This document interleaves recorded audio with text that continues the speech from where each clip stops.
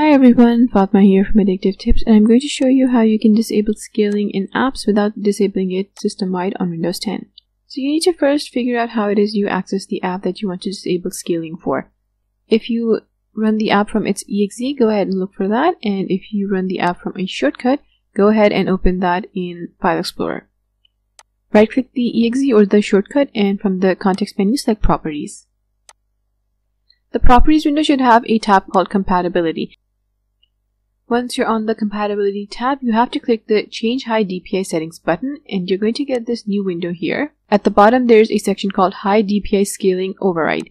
Go ahead and enable the Override High DPI Scaling Behavior, Scaling Performed By option, then open this um, drop down under it. Here you have to select System. That's about it. That is now going to override the scaling that the system applies. Click OK and then click apply and OK. And that should do the trick. Scaling is not going to be disabled in this particular app, but it is still going to work for all the other apps on your system and system-wide on Windows 10. Thanks for watching. I'll see you later with more tech tips.